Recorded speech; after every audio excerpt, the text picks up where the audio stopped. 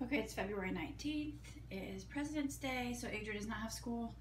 It's 107. I just got Alex to sleep, so I'm making some lunch. So Adri has Trolls mac and cheese with some pepperoni, some mandarin oranges, some carrots and tomatoes with some ranch, and she's gonna have a chocolate milk. And I'm gonna have some brown rice and chicken. My chicken is just heating up in the microwave. I'll show you. Okay, so I just cut up my chicken breast and stuck it on top of my instant cup of rice in this bowl. So I'm just having that and a diet dew. And that is my, I haven't eaten anything yet today, so this is my breakfast and lunch for today. I'm also gonna have a Colby Jack cheese stick.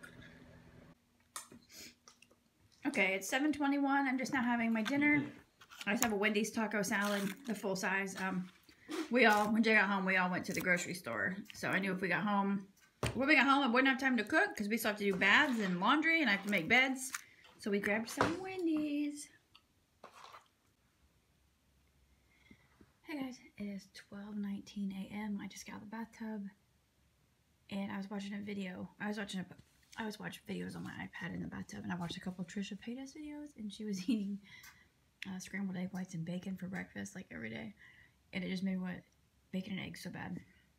And I already had eggs hard boiled in the fridge and I get the bacon that's already cooked at Sam's and you just heat it up for like 35 seconds. So yeah, I'm gonna have some bacon and eggs before I go to bed and some water. And that'll be the last thing I eat.